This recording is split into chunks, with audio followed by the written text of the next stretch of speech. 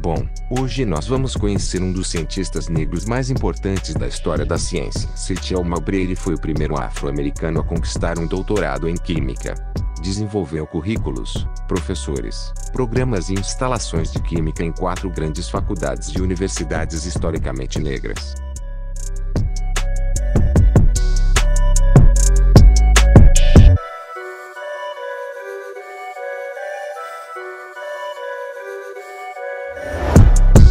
Bom, Setiel Malbreire nasceu em 22 de dezembro de 1884, em Louisville, Kentucky.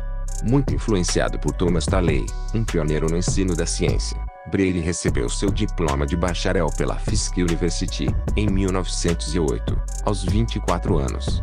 Imediatamente começou a lecionar no Tuskegee Institute, no Alabama. Breire também teve um relacionamento próximo e foi orientado por Booker T. Washington e George Washington Carver. Em 1912, após seu tempo na Universidade Tuskegee, ele recebeu uma bolsa de estudos para a Universidade de Illinois para se envolver em estudos de pós-graduação.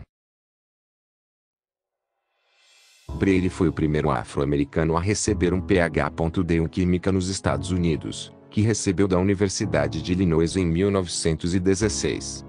O legado de Breire e a importância que ele teve para a ciência como uma pessoa negra foi o estabelecimento de fortes currículos de graduação, programas de pós-graduação e desenvolvimento de captação de recursos para quatro faculdades e universidades historicamente negras.